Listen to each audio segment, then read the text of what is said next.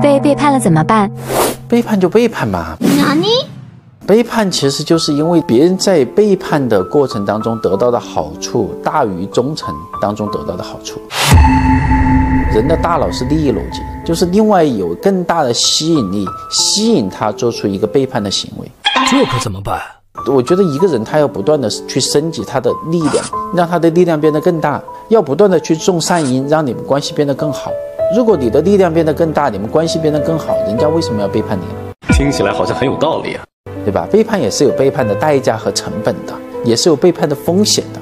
对，所以凡是被背叛的，你都要理解，是因为外面有更大的诱惑，所以你需要做的是不断增长自己的实力。不断增长自己的魅力，不断增长自己种善因的能力，建设关系的能力，那你的背叛的风险和概率就在下降，对吧？做不到那，你的概率就很高。如何做到放下？你专注做重要的事情，自然就放下了。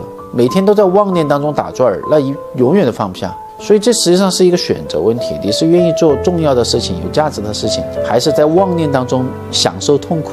这个是你自己的选择。你看，现在在我们这个圈子当中，幸福的人开始变得越来越多。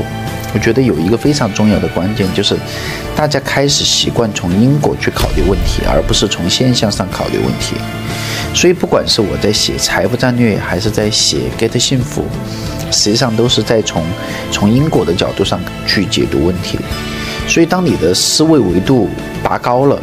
你开始从因果的角度上看问题了，有很多过去你的烦恼都会迎刃而解。